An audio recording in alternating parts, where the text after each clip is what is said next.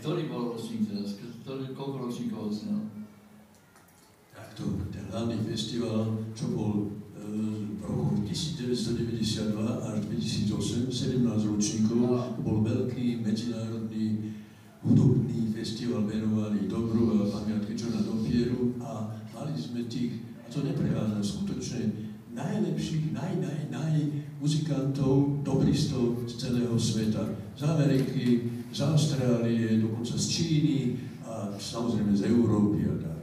Tak ako si povedal na, na Slovensku, takže e, dobré veci netrvajú žiadno. Takže aj tento festival by bolo dobre zase, nie že obnoviť, ale jednoducho pokračovať v takom štýle a za také, za také, za, za také podpory, ako si. Ale ja to teraz idem k jednej ale to tvoju otázku ešte doplním takto, že stali sa také veci, že nechcem hovárať Trnavo ani trnavských mestských úradníkov, no ale e, 2008 zistili, alebo povedali si, že Není toto práve Orechové, potom spravili dva také fejkové festivaly, tak, ktoré ostal názov, že Dobrofest, ale he, nevystupovali tam ani dobrí, dobro, dobrohráči, dobristi a ani bluesmeni a tak. Bolo to fejkové, tým nenadávam nikomu.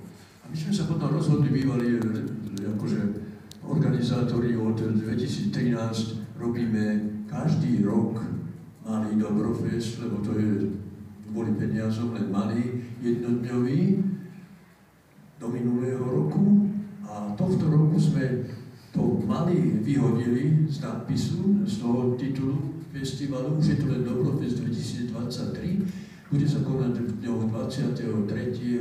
až 25. augusta.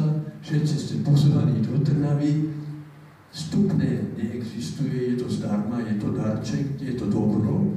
No a nebudem vám teraz až prezrádzať, sú tam kapely, je to medzinárodný festival, máme tam jedného Američana, jedného Angličana, máme tam Čechov, máme tam Slovákov a bude to dobré a okrem toho vás všetkých pozývam na presretie alebo na návštevu jediného múzea dobra, teda rezofonických gitár, a nie na Slovensku, nie v Európe, ale na celom svete, ktoré je v Trnave.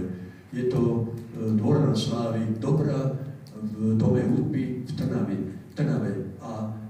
máme odborné dobrofistu do 23. to je v stredu o 6. tak vtedy bude aj otvorená expozícia, môžete sa pozrieť. Je to malé síce, ale naše a jediné na svete. Tak ako ty si na svete.